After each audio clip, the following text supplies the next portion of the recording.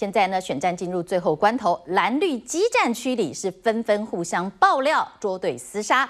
国民党立委蔡正元今天就指控时代力量候选人林长佐，他高喊反服贸，但是他的母亲却在大陆当职业会计师，大赚人民币。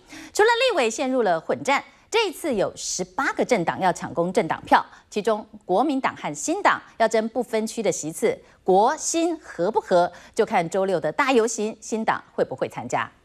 政党票请投，六号，总统头一号政党支持谁？泛蓝势力各抢各的票。不过选前黄金周传出国民党为了顾政党票，国新合作就快撕破脸。蓝营周六大游行更没邀请新党参加。哦，不会，我们也邀请玉主席，欢迎大家都来参加，大家所有的人都来参加。我会请他们跟玉主席联系。蓝营想要集中选票，多添几席。传出黄复兴党部呼吁选民，指出新党无法跨过政党门槛，选票形同浪费，要蓝营支。支持者票给国民党，国新合作，如今只能兄弟登山。国民党作为泛蓝的老大哥，应该要有点大度嘛。所以你席次再多，国民党就是一个党。蓝营的政党不再加入新党进去，那我们说输人不输阵啊，未来就可能是国民党一个党。被打到趴，十八个政党抢票，兄弟党都上演立委大混战，其他小党同样争着出头。拜托大家，谢谢。找台中市长林佳龙帮忙扫街，时代力量林长佐选情步步进逼，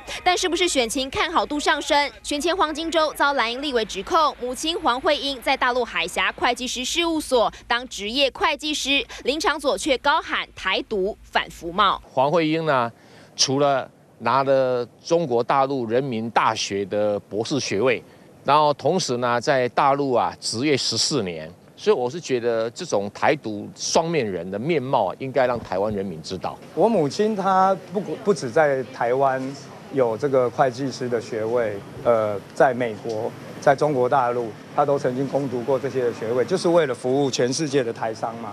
这根本就是两回事，没有任何的逻辑关系。但是为了选举，就极尽抹黑、扭曲之势。那这个当然是蔡正元，可能大家也都看得很习惯了。蓝营紧咬时代力量黄国昌、林长佐家族成员背景，亲中反中全被放大检视。二零一六小党百家争鸣，立委互咬，泛蓝也出现分裂危机。云体科长吴成汉、刘轩综合报道。